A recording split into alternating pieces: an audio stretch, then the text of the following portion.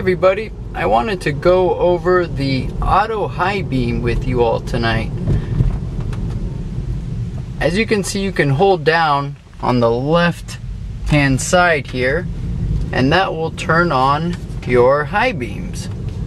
But what happens when you're driving and you want to have your autos on? So I have them on now. My hand is now free. And let's go for a little drive and see what happens. They're staying with bright and we're coming up to a car right now and they've disengaged already. So as soon as it sees that there's a car up ahead, it will disengage the auto high beams. So let's continue here now. And let's go straight through. And they've turned back on now that there are no cars in sight it saw the car parked there, so it thought I was going into the back of it. Here we go. We have cars up ahead.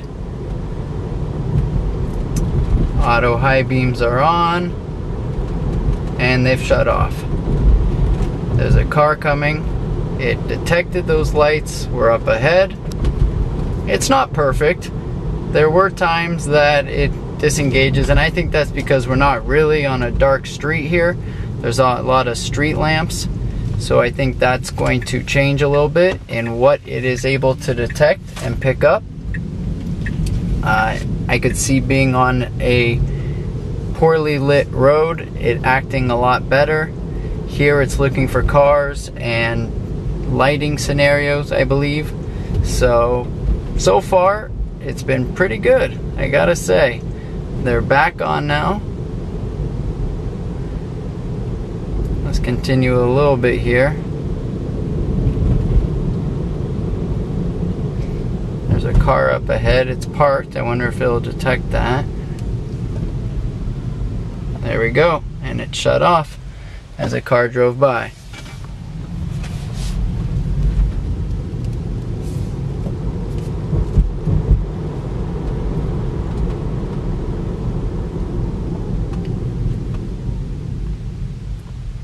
So auto high beams, they seem to work really well.